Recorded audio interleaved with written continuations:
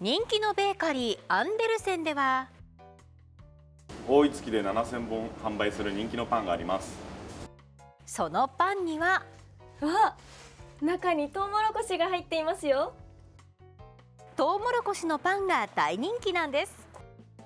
生地に入れるトウモロコシは北海道十勝産のゴールドラッシュという品種を使っていますその黄金色の粒からトウモロコシの王様と呼ばれるフルーティーなゴールドラッシュを。りんごの発酵種を使った生地にたっぷり練り込めば一月に7000本も販売するトウモロコシパンの完成。そのお味は？うん。生地はもっちりしています。トウモロコシは甘くて食感も楽しめます。今日は夏に人気のトウモロコシグルメをチェック高田馬場にあるリスカフェで食べられるのがトウモロコシのかき氷。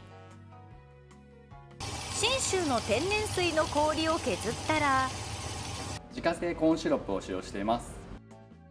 コーンシロップには脂肪燃焼効果があると言われている MCT オイル入り。上にのせるクリームはほろ苦いキャラメルクリームをのせコーンの甘さを引き立たせています。トッピングのコーンも炙って香ばしさをプラスしています。夏にぴったりのトウモロコシのかき氷。そのお味は？うん。氷がふわふわです。コーンシロップが濃厚でまろやかです。甘いトウモロコシとほろ苦いキャラメルクリームがマッチしています。恵比寿の会津で味わえるのが？甘くてすごいプチプチしててトウモロコシを存分に味わったなっていう感じでそれがトウモロコシのペペロンチーノ。パスタにはトウモロコシを丸々1本使用しています。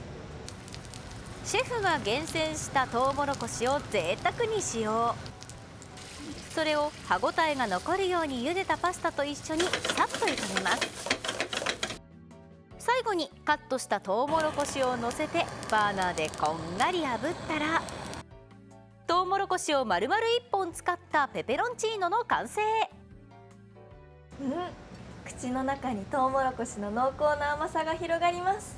ピリッとした辛さがアクセントになっています。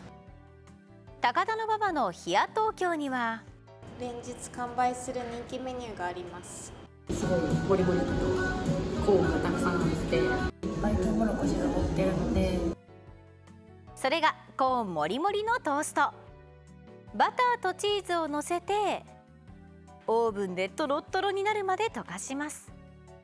さらに甘さが違う2種類のトウモロコシをトッピングしています。甘みや香りが強い北海道産のゴールドラッシュとメロンより甘いと言われるピュアホワイト。を山盛りトッピングしたら連日完売するもろこしトーストの完成。食べてみるとうん美味しいトウモロコシの甘さとチーズの塩気で甘じょっぱい味わいです。どれも旬のトウモロコシをたっぷり味わえますよ。最後まで動画をご覧いただいた皆様本当にありがとうございます。この動画へのいいねやコメント、うん、そしてチャンネル登録をぜひよろしくお願いいたします。お願いします。フジテレビアナウンサー軽部真一と。井上聖華でした。どうも